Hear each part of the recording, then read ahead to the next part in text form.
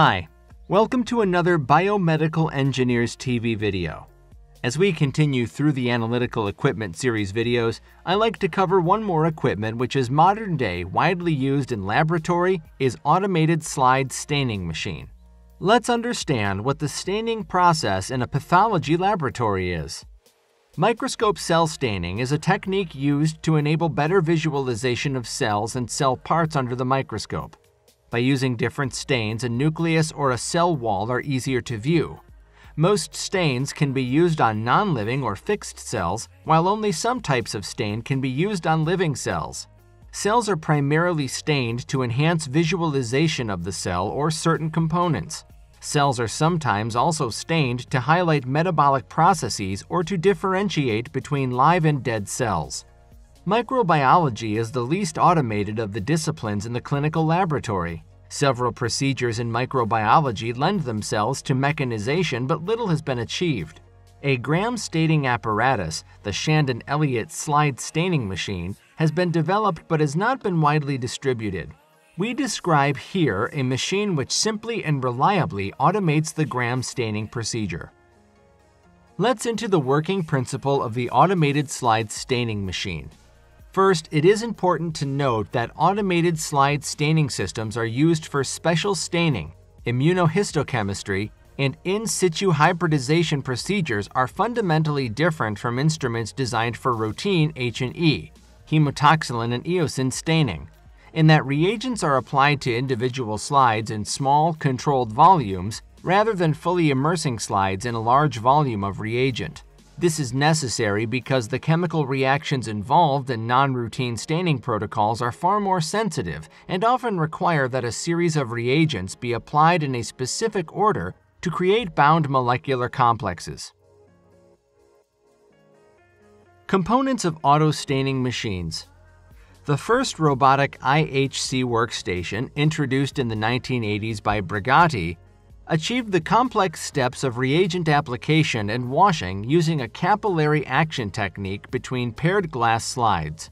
In the following decades, machines have been developed to manage slide labeling, baking, deparaffinization, antigen retrieval, staining, cover slipping, and digital image analysis. Before we move to different components, let's understand the open and closed system.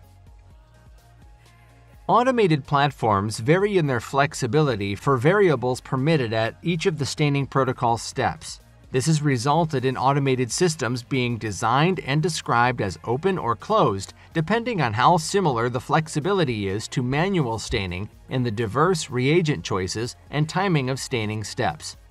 For this reason, open automated systems are the easiest to migrate to from manual protocols with the least need for alterations.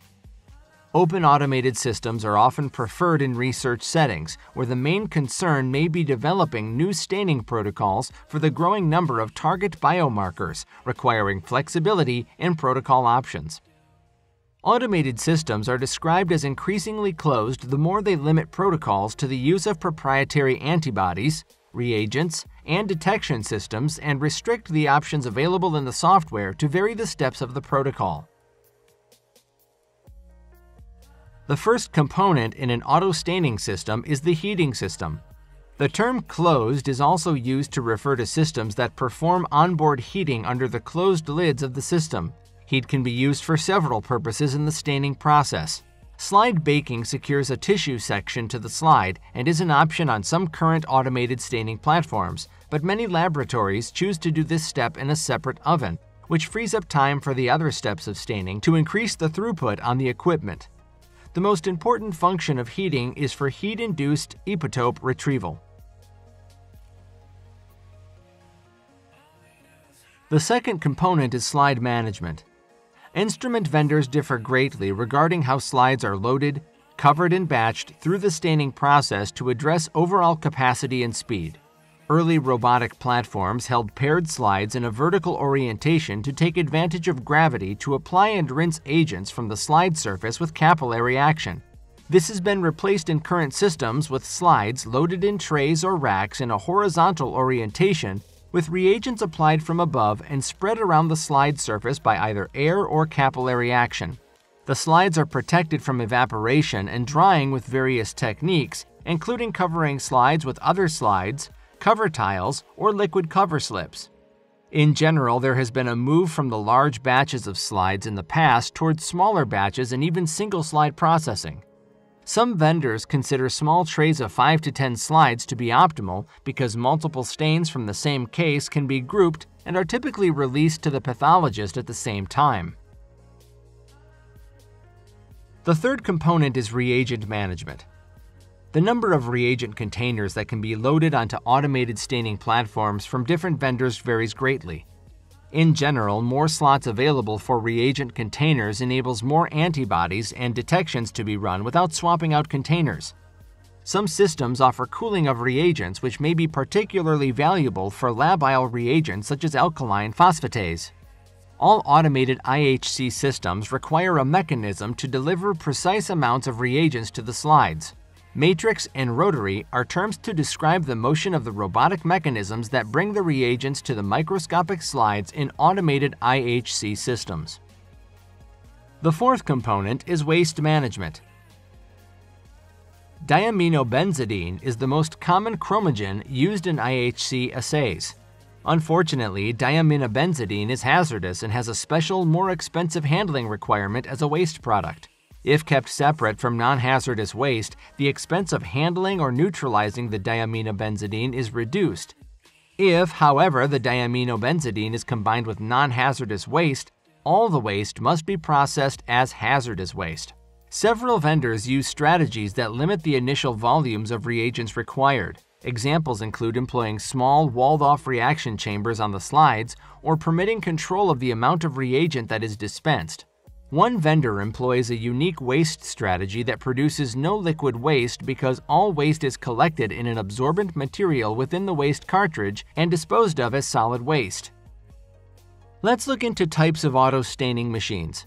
Let's start with capillary gap stainers.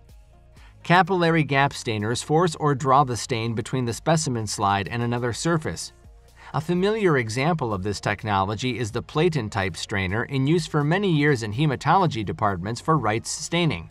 Rotating worm gears move slides face down along a platen, a plane surface, which has holes through which stain can be pumped at appropriate intervals.